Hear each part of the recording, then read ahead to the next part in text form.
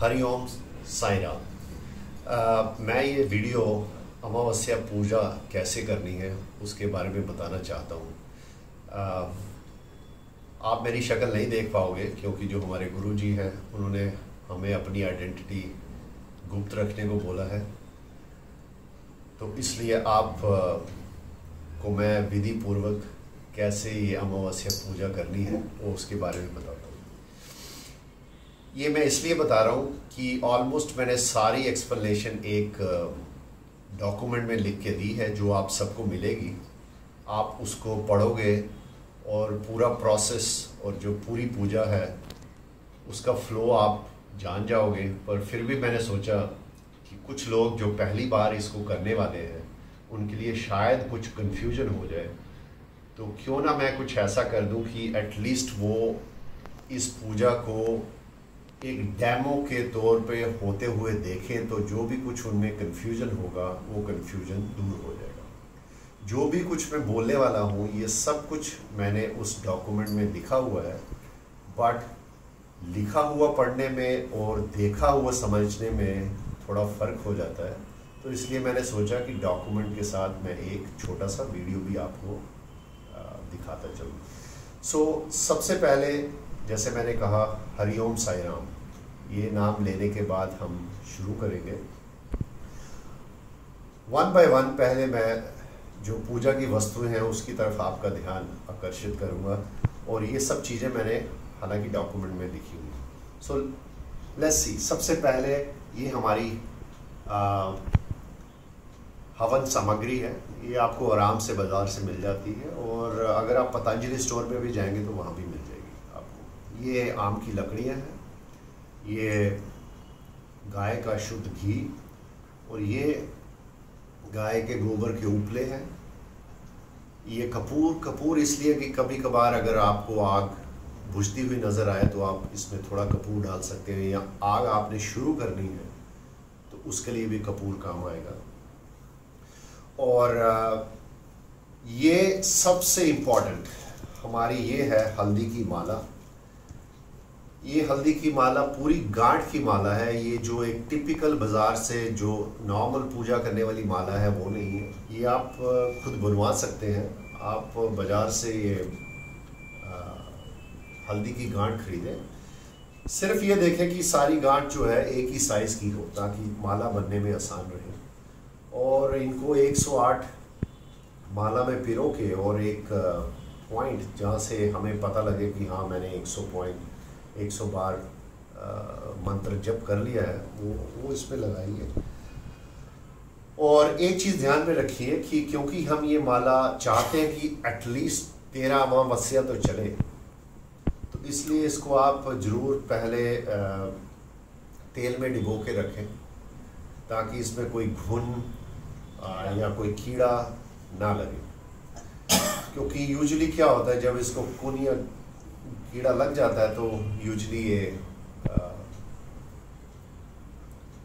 जो हल्दी है, उसकी गांठ टूट जाती है और टूट होने, टूटने से फिर हमें फिर नई माला बनवानी पड़ती है और ये पुरानी माला को हम जल प्रवाह कर देंगे। तो ये सबसे बड़ी इंपॉर्टेंट चीज़ है। आपको सब चीज़ें बाज़ार में जल्दी से मिल जाएँगी बट इस चीज़ का आपको अरेंजमेंट पहले करना पड़ेगा। यूजली जो लोग माला बनाते हैं, फूल की माला बनाते हैं, अगर आप उनको ये 108 या 100 200 जितने भी आप गांठ अगर दे देंगे तो वो जल्दी से आपको माला बना के दे देंगे। इसके अलावा हमको हल्दी भी चाहिए होगी, ये हल्दी की गांठ है। और अगर फैमिली में चार लोग हैं तो चार चाहिए, आठ हैं तो आठ चाहिए। अल्टीमेटली हर एक फैमिली मेंबर के पास एक अपनी माला एक हल्दी की गांठ होनी चाहिए। जैसे मैं आपको एग्जांपल देता हूँ।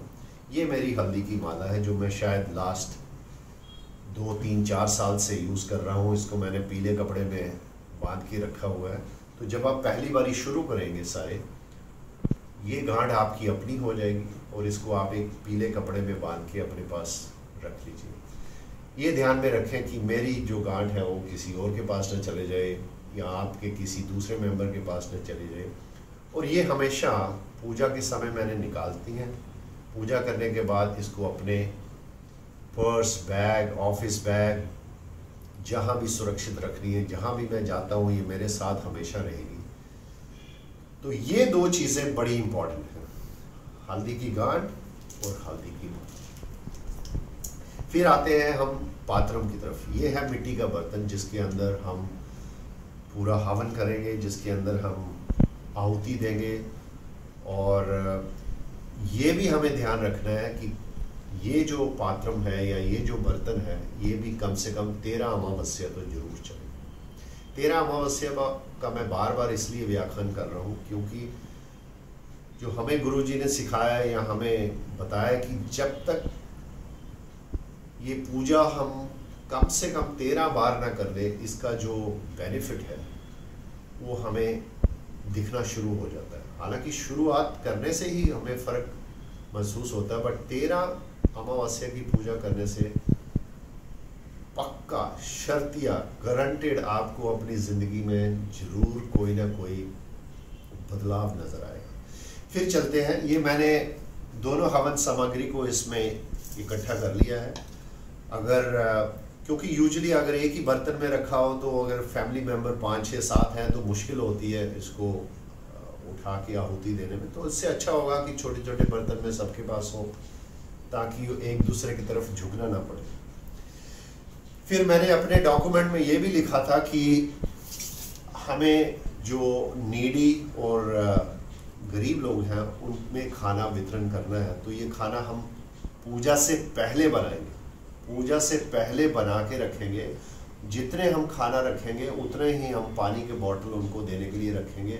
और कितने पैसे इसमें रखने हैं, ये भी हमने उसमें डॉक्यूमेंट में मैंने बताया था कि कितने पैसे रखने हैं।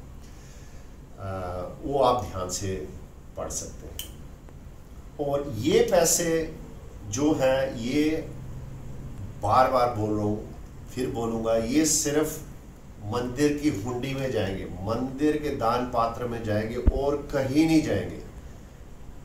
बाकी जो दक्षिणा हमने खाने के साथ या पानी के साथ देनी है, उस पर कोई प्रॉब्लम नहीं है। बट ये जो पैसे हैं, ये हमेशा हमेशा याद रखें कि ये मंदिर के दान पात्र में जाएँगे। अब आते हैं एक और वस्तु है, जो है नारियल। ये नारियल भी हर एक फैमिली मेंबर की गोद में होगा और उसके ऊपर सिक्का है। तो कुल मिला के ये सारी सामग्री हमको तैयार करनी है। ये सारा सामान है। अब मैं थोड़ा इसको विधि भी बता देता हूँ, क्या मंत्र बोलना है वो भी मैं बता देता हूँ। तो एक छोटा सा डेमो करूँगा। अब जो घर का सबसे बड़ा आदमी है, घर का सबसे बड़ा आदमी है, जैसे अभी मैं डेमो कर रहा हूँ तो मान लीजिए कि मैं सबसे बड़ा आदमी तो ये माला जो है हल्दी की माला ये वही चलाएँगे जो सबसे बड़े हैं एक नंबर। दूसरा नंबर वो हमेशा इस डायरेक्शन में बैठेंगे south facing south facing direction में जो एल्डेस्ट मेंबर है फैमिली का वो बैठेगा। सो so, अब मान लीजिए मैं हूँ तो ये माला मेरे राइट हैंड में आएगी। ये मैं आपको पहले ही एक्सप्लेन कर चुका हूँ, ये मेरी हल्दी की गांठ है, जो मैं कई साल से, दो साल से यूज़ कर रहा हूँ। ये मेरे लेफ़्ट हैंड में रहेगी नारियल मेरी गोद में है और ये सिक्का। क्योंकि जब मैं ये दोनों हाथ दोनों हाथ में जब इस्तेमाल कर रहा हूँ तो मैं तो आहुति नहीं दे सकता। ये आप ध्यान में रखिए। तो जब पूजा शुरू होगी सबसे पहली आहुति जो फैमिली मेंबर है, सबसे बड़ा। और कैसे देनी है? ये आप देखिए। ये अगर, सामग्री है तो रिंग फिंगर और थम ये दोनों लेके मैं आहुति दूँगा।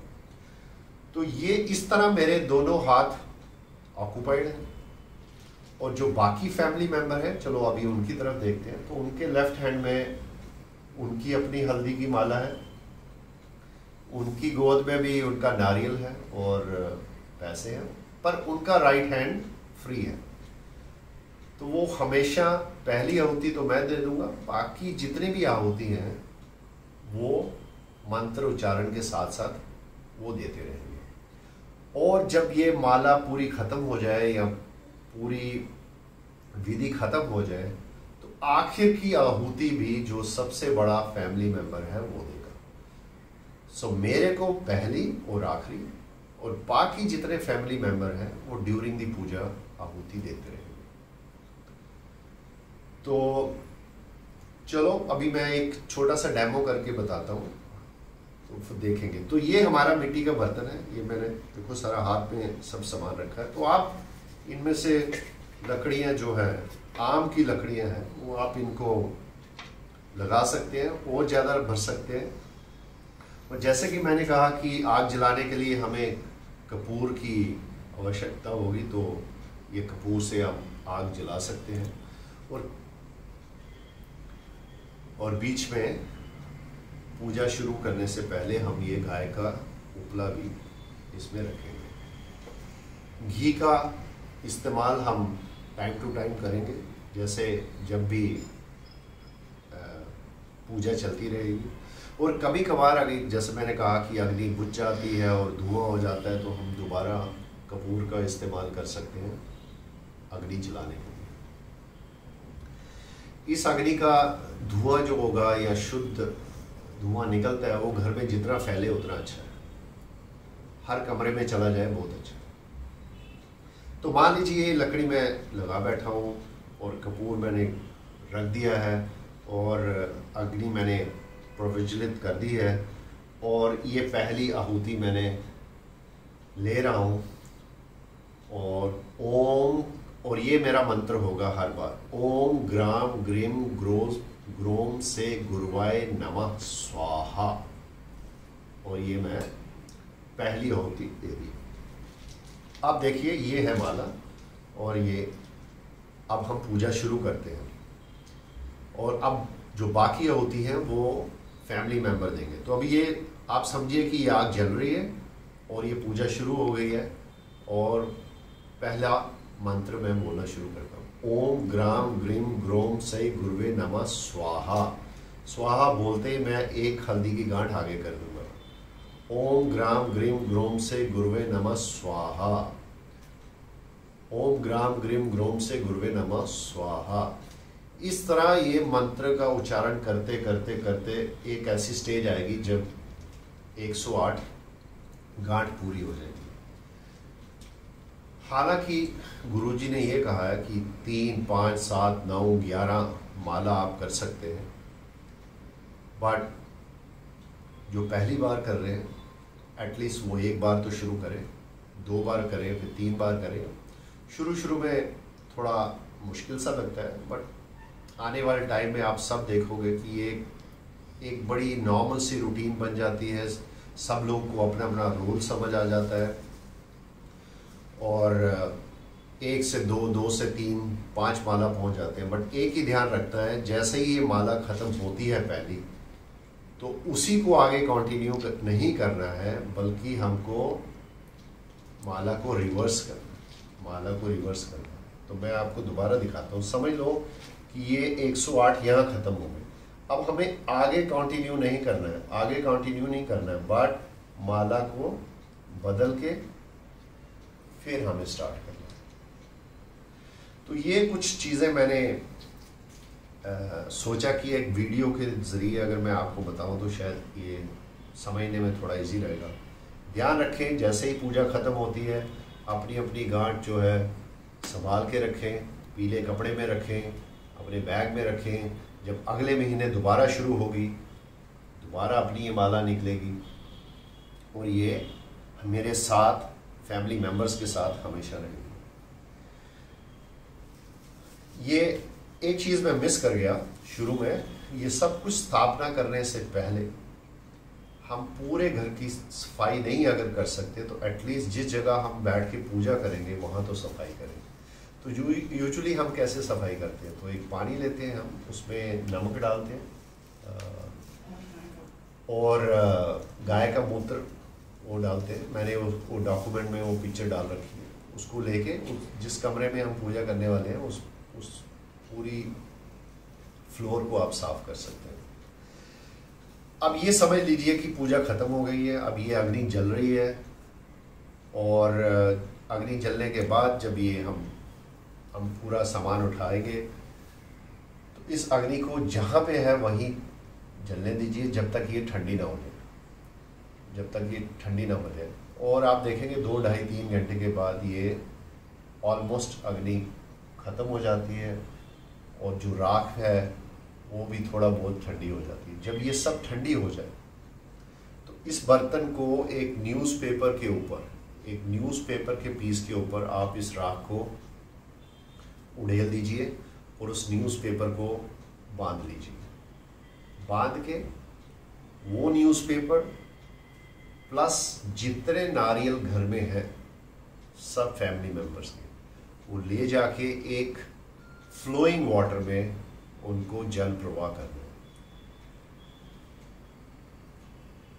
ये सिक्के जो बच जाएँगे, ये सिक्के और जो भी हमने पैसे फैमिली मेंबर्स के हिसाब से, ग्यारह रुपये पर फैमिली मेंबर के हिसाब से, और मैंने उस डॉक्यूमेंट में दे रखा है कि कैसे कैलकुलेट करना है। ये और सिक्के, ये जाएँगे मंदिर की डोनेशन बॉक्स में। सारे नारियल प्लस राख ये हमें जल प्रवाह करनी है। ज़रूरी चीज़, कुछ गलतियाँ हम शुरू में करते रहे हैं, हम ऐसे फैमिली राख को अखबार में तो रख लिया, पर दो दो दिन हमारे घर में ही पड़ी हुई है। कल कर देंगे, परसों कर देंगे। नारियल है, अरे तू दे के आ जाना, परसों तू चले जाना तो कोई नहीं जाता। तो नारियल भी हमारे घर पे पड़े रहे। तो सबसे इतनी अच्छी अगर हमने पूजा की है तो हमें ये ध्यान रखना चाहिए कि नारियल और राख। उसी दिन ले जाके हम जल प्रवाह कर दें और ये जल प्रवाह हमें सूर्य ढलने से पहले पहले करना है। रात को जाके नहीं करना, सूर्य ढलने से। दो तीन चीज़ें और मेरे को याद आ गई। तो पहला ये कि ये जो पूजा हमने बोली है ये सूर्य उदय होने से एक घंटा पहले तक ख़त्म हो जानी चाहिए। ये ये भी मैंने वहाँ लिखा हुआ है डॉक्यूमेंट और फिर हमें ये भी याद है कि हमें उठ के सफ़ाई करनी है, हमें उठ के खाना बनाना है, हमें नहाना है, कपड़े बदलने हैं। तो अगर सूर्य उदय होने से पहले एक घंटा ख़त्म होनी चाहिए तो हम बैकवर्ड चले। तो हमें कैलकुलेट करके रखना चाहिए कि कितने बजे उठें ताकि ये सारा काम खाना बनाना, सफ़ाई करना, नहा के, पूजा का सामान अरेंज करके, पूजा ख़त्म करनी है, वो भी एक घंटा पहले सूर्योदय होने के एक्सपीरियंस के साथ ये टाइमिंग छोटी होती जाती है। जैसे मैं आपको बताता हूँ, हम तीन, साढ़े तीन बजे उठते हैं और खाना बनाना, सफ़ाई करना, पाँच माला करना हम आज तक, अभी तक सिर्फ़ पाँच माला पे ही पहुँचे हैं। पाँच माला करते हैं और साढ़े पाँच तक हमारा ये सारा कार्यक्रम ख़त्म होता है। तो अब आप देख लीजिए कि एक आदमी जो, एक फैमिली जो एक्सपीरियंस के साथ लास्ट छः साल से ये पूजा कर रही है छः सात साल से हम पूजा कर रहे हैं, हमें भी कम से कम ढाई घंटे लग जाते हैं। एक और एक और चीज़ मैंने लिखी है। सपोज़ कोई फैमिली मेंबर सारे इकट्ठे हो तो बड़ी अच्छी बात है बट अगर कोई मिस हो जाता है तो कोई घबराने की बात नहीं है। एक फैमिली मेंबर भी हो, दो मेंबर भी हो घर में तो ये पूजा की जा सकती है। बट एक बार शुरू की हुई पूजा, हमें ये ध्यान लगा के रखना है कि मिस ना हो। बाकी बाबा जी की कृपा है। जब हम इसमें शुरू होंगे तो ऐसे हालात बनेंगे कि कभी भी ये मिस नहीं होगी। कई इंस्टांसेस आए कि जब हम मेरे को छः बजे फ़्लाइट भी पकड़नी है, फिर भी हम उस दिन तीन बजे ना उठ के, ढाई बजे उठ जाते हैं, दो बजे उठ जाते हैं। बट लास्ट सात साल में छः सात साल में मुझे नहीं लगता कि हमसे कोई कभी मिस हुई, कभी मिस नहीं अगर मुझे जाना भी पड़ गया या नहीं मैं आ सकता तो बाकी फैमिली मेंबर तो मैं बाकी आप सब लोगों को ये कहना चाहता हूँ कि आदमी गलती दो तरीके से करता है। एक, अगर उसे पता ना हो, पर वो एक चीज़ करता जा रहा है तो वो उससे गलती होती है। बट हम भाग्यवान हैं कि हमारे साथ भैया जी हैं। वो एटलीस्ट तो हमें ये बता रहे हैं कि भाई ये गलती हो रही है, आप इसको ठीक दूसरी गलती आदमी तब करता है जब उसे पता है ये गलत है, पर वो फिर भी कर रहा है। तो आई थिंक ये सेकंड गलती होगी। तो मुझे लगता है कि अगर हम ये दो चीज़ों को सुधार लें और ये जो हमें समझाया गया है इस अमावस्या पूजा का महत्वपूर्ण पूजा का जो बेनिफिट है, मैं आपको गारंटी के साथ कह सकता हूँ बहुत बदलाव आएँगे, बहुत बदलाव आते हैं। पर्सनल लाइफ में फैमिली लाइफ में, बच्चों की लाइफ में फाइनेंशियल काम पीस बहुत बेनिफिट है। तो मैं तो आपसे यही आग्रह करूँगा, बहुत अच्छा होगा आप इस लाइन में जुड़ रहे हैं, इस पूजा को करने के लिए उत्साहित हो रहे हैं। करिए। और बाबा जी की कृपा से और गुरु जी की डायरेक्शन से इतना मैं आपको विश्वास दिलाता हूँ कि आपके जीवन में उसी तरह के बदलाव आएँगे जैसे मेरे और मेरी फैमिली के जीवन में बदलाव आए हैं। हरिओम ओम साई राम। हरिओम साई राम। अभी एक मैंने छोटा सा वीडियो बनाया है अमावस्या पूजा के लिए जो आपको मिलेगा देखने के लिए। मुझे लगा कहीं मैंने दो तीन जो इम्पोर्टेंट पॉइंट है वो मिस कर दिए तो इसलिए उनको भी मैं आपके सामने रखना चाहता हूँ। जब सारी सामग्री तैयार हो जाती है, हम पूजा शुरू करने वाले हैं, सारे फैमिली मेंबर इकट्ठा हैं तो हम सब लोग पूजा शुरू होने से पहले आँख बंद करके अपने पितरों का ध्यान लगाएँ और उनको कहेंगे हे पितरों, मैं आज अगर इस धरती पे हूँ या मेरी फैमिली इस धरती पे है, वो सब आपकी वजह से है, आप ही की देन है। और मैं ये चाहता हूँ कि आप जहाँ भी रहो, शांत रहो, खुश रहो और अपनी जो दया दृष्टि है। मेरे और मेरे परिवार पर बनाए रखो। आँख जो, आँख बंद करके, हाथ जोड़ के हमेशा उनका ध्यान करें, पूरी फैमिली ध्यान करें और ये करने के बाद हम अपनी पूजा शुरू करें। दूसरा पॉइंट ये था कि जैसे ही पूजा खत्म होती है, फिर आँख बंद करके पितरों को ध्यान में रखते हुए हम पूरी फैमिली ये बोले, हे पितरों, जो मैंने पूजा की है, मैं चाहता हूँ कि आपको शांति मिले और मेरे से जो भी गलती पुरानी हुई हैं, मेरी परिवार से पुरानी गलती हुई हैं, जो मैं गलतियाँ अभी कर रहा हूँ, कृपा करके उनको माफ़ करें, मुझे अच्छा रास्ता दिखाएँ और मेरे परिवार को अपनी छत्र छाया में रखें ताकि वो अपने खुल का, अपने अपने परिवार का नाम रोशन कर सकें। तीसरी चीज़ ये है कि ये पूजा हम पूरे महीने में एक बार करते हैं। और इसमें जैसे मैंने पहले कहा, ढाई तीन घंटे लगते हैं। तो अगर पूरे तीस दिन में अगर हमें सिर्फ़ ढाई तीन घंटे निकालने हैं पूजा के लिए तो मेरी सबसे ये रिक्वेस्ट है कि पूरे विधि भाव से, शांति से पूरा अर्पण होके इसको करें। कोई डिस्ट्रैक्शन ना हो, ऐसा ना हो कि हम पूजा कर रहे हैं, कोई किसी को फ़ोन कर रहा है, कोई सामान उठा रहा है, कोई इधर जा रहा है, कोई इधर जा रहा है, कोई किसी को बुला रहा है। डिस्ट्रैक्शन ना हो। अगर ये ढाई तीन घंटे अगर हम पूजा कर रहे हैं तो हम पूरे सारे कमिटेड हो। पूरे सारे शांति से हम अपने आप को अर्पण करें, ताकि ये हमारी जो पूजा है, ये पूरी विधि भाव से अच्छी तरह से हो। और आखिरी चीज़, जो हमने खाना गरीब और ज़रूरतमंद लोगों के लिए बनाया है शुरू पूजा से पहले। जब पूजा ख़त्म होती है तो हम वो खाना जो है, गरीबों को और नीडी सबसे इंपॉर्टेंट चीज़ है नीडी गरीब और नीडी और सेकंड इज़ अननोन ये बहुत इंपॉर्टेंट पॉइंट है। अननोन नीडी आदमी को दे। कुछ लोग समय बचाने के लिए, या हम भी करते थे, हम भी शुरू में करते थे, कौन कौन अभी जाए ढूँढने नीडी लोगों को? हम अपने ड्राइवर सिक्योरिटी वाले मेड को, इनको दे देते। ये ना तो नीडी है और ना ही अननोन है। और जो मैंने गुरु जी से सीखा है, जब आप एक नॉन आदमी को कभी भी दान देते हो, हमेशा उस आदमी को आपकी कुछ करने के लिए एक्सपेक्टेशन होती है। क्योंकि मैंने कुछ किया है तो उसको लगता है मैं इसके बोझ तले दब गया हूँ तो मेरे को भी कुछ करना चाहिए।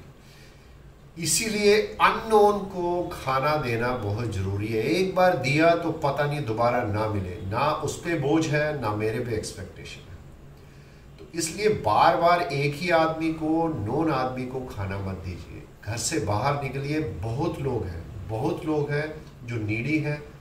बहुत लोग हैं जो आपको इस बार मिलेंगे, दोबारा पता नहीं मिलेंगे। रेलवे स्टेशन है, मंदिर के बाहर है, कहीं शेड में बैठे हैं। कहीं ना आप ढूंढोगे, आपको ज़रूर मिलेगा। तो ये भी एक बहुत बड़ा पॉइंट है। इतना अच्छी पूजा करने के बाद अगर हम ये खाना